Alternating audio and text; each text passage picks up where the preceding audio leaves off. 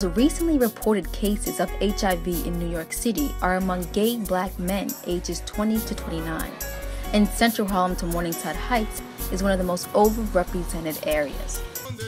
Curacao, or Kòrsou as the locals would call it, is a beautiful island within the Kingdom of the Netherlands. There are a vast array of people living on the island, and West African slave descendants make up the larger part of the population due to the island's involvement in the transatlantic slave trade. While work is scarce and unemployment is at an all time high, some South Africans have been forced to adopt the entrepreneurial spirit. Within townships such as Alexandra and Kliptown, residents have taken it upon themselves to create what's called an informal economy. It was a great, fun, and exciting night at the Student Activity Center where tons of Temple students showed up to support a great cause. For Temple Update, I'm Dominique Spooner. 65 students participated in today's events, and next